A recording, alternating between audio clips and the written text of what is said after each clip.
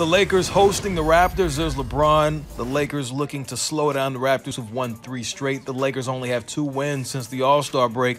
LeBron dropped 50 in both of those games. What we do do tonight, we'll see him in a second. But in the meantime, that's Pascal Siakam. Raptors jumped out big early on these Lakers. Scottie Barnes finished with 21. He scored 15 or more in five straight. More Pascal Siakam. He scored 20 or more in six straight games. He finishes with 27 in this one. Oh, yeah, you got to close that back door.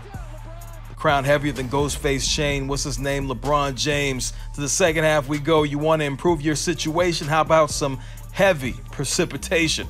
The driving dish. Oh, yeah, that's good. Gary Trent Jr.